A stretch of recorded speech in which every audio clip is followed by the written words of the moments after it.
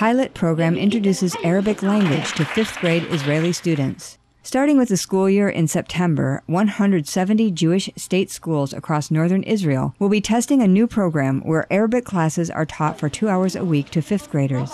Called Ya Salam, the new initiative from the nation's education ministry is intended to encourage cultural bridging through earlier introduction of language. The study of Hebrew is already compulsory in Arab schools, while Arabic is not mandatory except for 7th to ninth graders in Jewish schools. Education Ministry Head of Arabic and Islamic Education, Shlomo Alon, said, We live in a country that has two official languages. Studying Arabic will promote tolerance and convey a message of acceptance.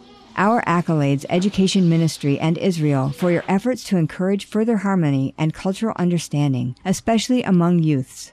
Blessed be all such endeavors that foster understanding and respect among people across the globe.